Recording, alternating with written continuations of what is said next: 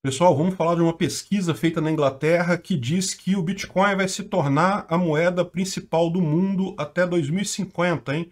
Olha que coisa, hein? Sonho molhado de todo, todo bitcoinheiro. É isso daí. Essa notícia foi sugerida por Super Hétero Armamentista. Obrigado aí a quem sugeriu a notícia. Obrigado a você que assiste os nossos vídeos. Se você gosta do nosso conteúdo, por favor, deixe o seu like e se inscreva aqui no canal, né?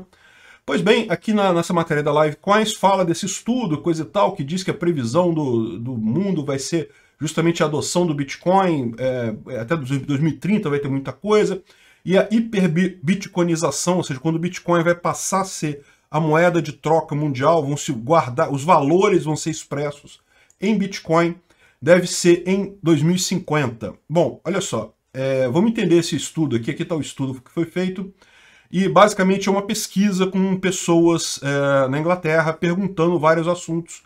Então perguntou para é, várias é, é, pessoas lá na Inglaterra. E, por exemplo, a primeira pergunta, você acha que o Bitcoin está num valor justo, né? E 15% concordam, mas 60%, 61% acham que está, de, está baixo demais o valor do Bitcoin. Tem 24% que acham que está alto demais o valor do Bitcoin, né? É, tá num mercado, num bear market, ou seja, está no mercado de baixa, a tendência do Bitcoin é de baixa, 62% não, não é de baixa. Alguns aqui estão sem, não têm certeza e outros acham que sim, que já entramos na baixa. Né? O quão baixo você acha que o valor do Bitcoin vai chegar nesse ciclo? Né? O menor valor apontado foi 15 mil, é, no, aqui repara, aqui é 15 mil libras esterlinas, tá? Então, é, é, não, é, não é dólar aqui não, tá? Libra esterlina, essa pesquisa foi na Inglaterra. E o máximo foi 36, 35 libras esterlinas, é, o que é estranho porque já está abaixo disso, né?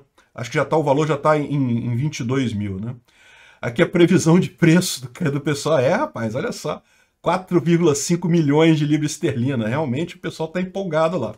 E a grande pergunta é, que foi feita, né, a tal da hiperbitcoinização, que é quando o Bitcoin vai substituir uh, as moedas fiduciárias, né, as moedas estatais, uh, a maior parte das pessoas aqui, alguns falou que em 2025, pessoal otimista pra caramba, a maior parte aqui falou em 2040, mas o fato é que se você for somando isso daqui, quando chega em 2050, é, já deu 50% das pessoas, a maior parte das pessoas já acha que o Bitcoin vai substituir as moedas digitais, as moedas, desculpa, as moedas físicas, né, as moedas é, estatais, em torno de 2050, né?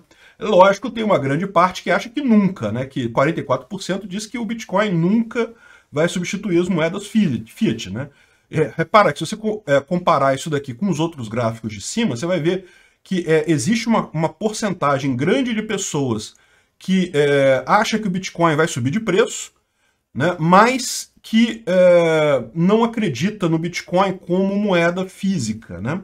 É aquele pessoal que investe no Bitcoin para ganhar dinheiro. É uma coisa muito comum, acontece mesmo, e é o que eu falo para vocês. Eu acho que é, geralmente é, é, o que incentiva as pessoas a tomarem contato com o Bitcoin. O ciclo é sempre muito parecido.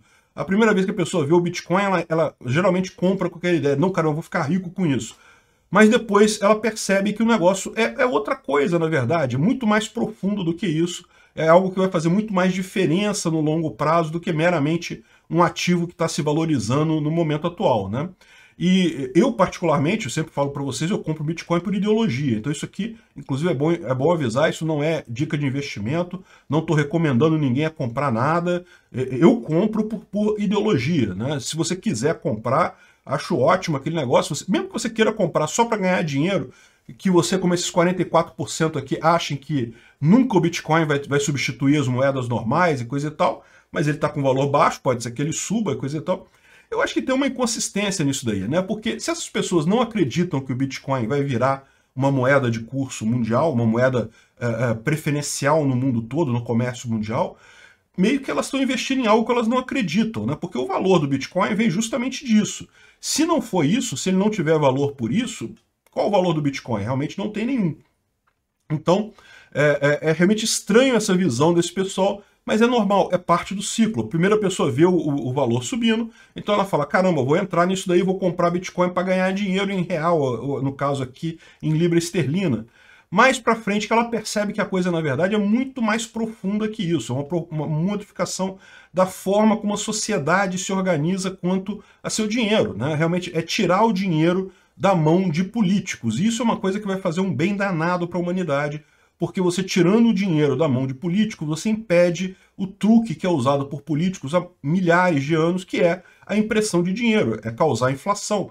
Se você for lá no Visão Libertária, tem vídeos mostrando como que a queda do Império Romano, em grande parte, a queda da economia que levou à queda final do Império Romano, foi por emissão de moeda. É o governo que tem um incentivo muito grande de emitir moeda para se financiar, para bancar os seus gastos, só que com isso a moeda em si perde valor. O Bitcoin não tem isso. O Bitcoin é uma moeda que não tem como um governo ir lá e emitir aquela moeda e gerar aquela moeda a mais, aumentar o número daquela moeda para é, é, é pagar as despesas dele. Então, realmente, é uma coisa que é, muda a forma como a sociedade se organiza. É uma coisa que tem um fator é, muito crucial no futuro. E é aquele negócio. No final das contas, de fato, o valor do Bitcoin nessa situação se tornaria muito maior do que é hoje. Qualquer pessoa que tem 0.00001 Bitcoin vai ficar rica com esse negócio. Então, é realmente, se isso aqui acontecer, deixar bem claro, então, ou seja, realmente é, é, é, é uma coisa impressionante é, essa dissonância do pessoal, mas faz parte do processo. As pessoas se ligam no Bitcoin primeiro com a expectativa de ficar ricas e só depois que elas entendem o sentido libertário da coisa, o propósito real e revolucionário do Bitcoin. Mas tem mais informação interessante aqui, né? Por exemplo, o pessoal está falando é, entre comprar, vender ou manter, né? Vender, tem muito pouca gente pensando em vender, muita gente querendo comprar. E também o pessoal falando sobre o que, que ele acha que pode ser problemas para o Bitcoin, né? Problemas de escalabilidade, é, problemas de mineração e coisa e tal, competição de mercado de criptomoeda. Isso daqui eu acho besteira. É, ameaça de regulação, é, crescimento de regulação, notícias negativas, falta de é, adoção de cripto, é, criptomoedas, né? Enfim, aqui o pessoal mostra o que, que pode ser de problema, o que, que eles veem de problemas no Bitcoin, no, no possível Bitcoin, né? E aqui está o pessoal que participou aqui da, desse negócio. Enfim, é bastante interessante ver essa, essa pesquisa inglesa aí. O pessoal lá tá, tá empolgado.